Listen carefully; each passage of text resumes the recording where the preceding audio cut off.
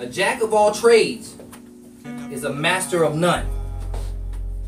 A jack of all trades is a master of none. Meaning, simply put, if you do a whole bunch of things, you will not be a master at any one of them. Now, let me go deeper into that for a moment if you let me. That doesn't mean don't do other things. That doesn't mean just do this. Because that'll get boring after a while. You know, it becomes monotonous, right? But it does mean master something before you go and start something else. If you truly want to be successful, right? Mom was reading that, you know, you ask, most people ask for the, the wrong people for the gifts that they want, right? For what they want. They don't ask God for it.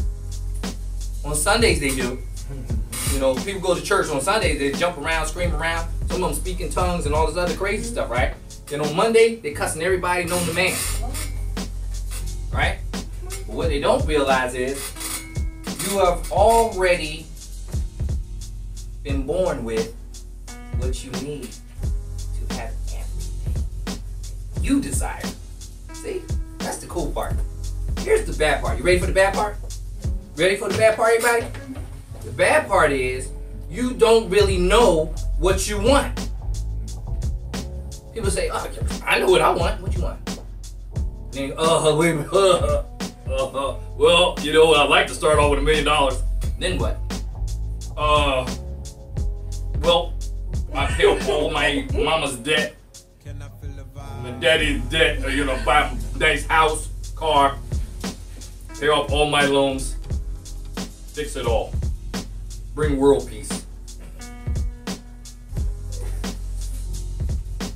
But they don't have true direction. If you say, if you had a million dollars, what would you do with it? It should be so systematic that you know exactly what you would do.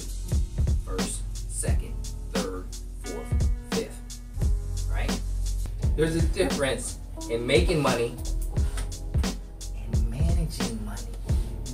Somebody could make half of what you make and have twice as much as you have. How does that happen?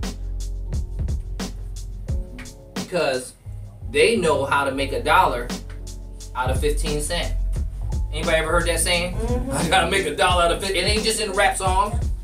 See people here, oh, gotta make a dollar out of 15 cents.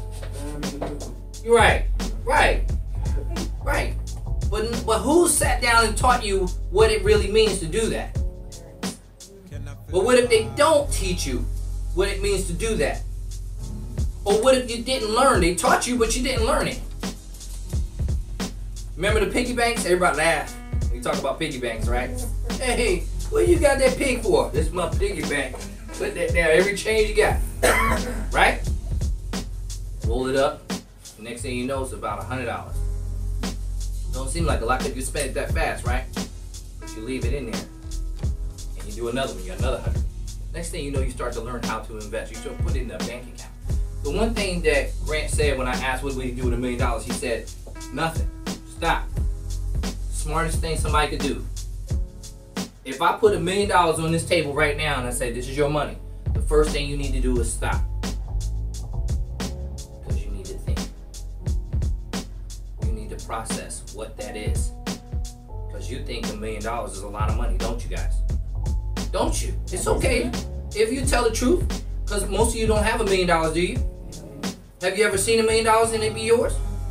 Have you seen a million dollars at a bank on the table? Do you know that you can go to the bank tellers? I know because I've done it.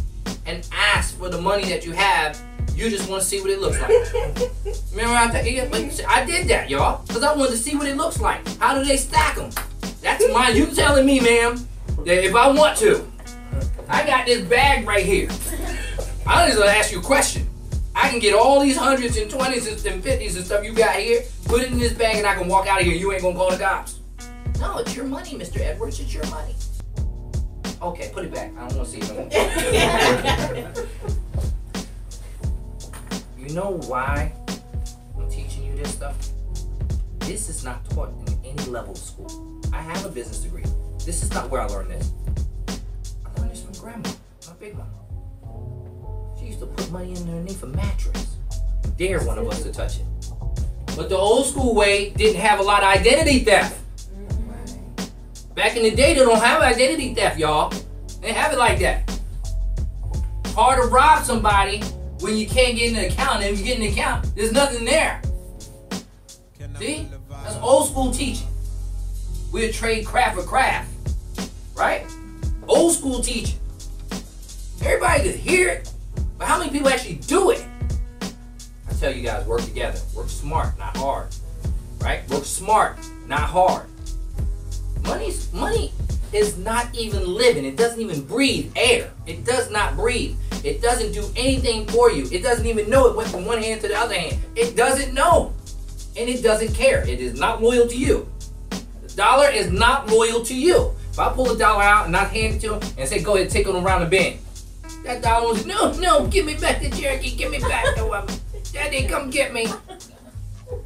It won't wrinkle up and disintegrate in one of your hands.